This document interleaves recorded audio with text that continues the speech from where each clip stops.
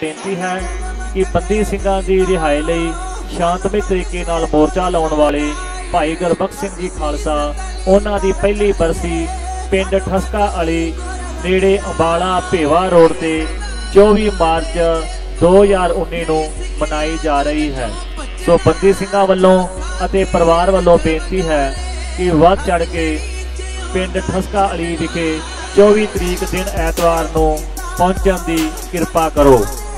ਕਿਉਂਕਿ ਭਾਈ ਗੁਰਬਖਸ਼ ਸਿੰਘ ਖਾਲਸਾ ਜੀ ਨੇ ਆਪਣੇ ਕੀਤੇ ਹੋਏ ਅਰਦਾਸੇ ਨੂੰ ਪੂਰਾ ਕਰਦਿਆਂ ਹੋਇਆਂ ਬੰਦੀ ਸਿੰਘਾਂ ਦੀ ਰਿਹਾਈ ਲਈ ਚੱਲ ਰਹੇ ਮੋਰਚੇ ਨੂੰ ਆਪਣੇ ਖੂਨ ਨਾਲ ਸਿੰਜ ਕੇ ਜੋਬਣ ਤੇ ਕੀਤਾ, ਜੋ ਕਿ ਅੱਜ ਵੀ ਉਹ ਸੰਘਰਸ਼ ਜਾਰੀ ਹੈ।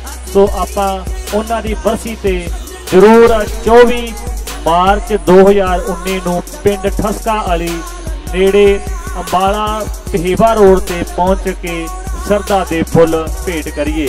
ਵਾਹਿਗੁਰੂ ਜੀ ਕਾ ਖਾਲਸਾ ਵਾਹਿਗੁਰੂ ਜੀ ਕੀ ਫਤਿਹ।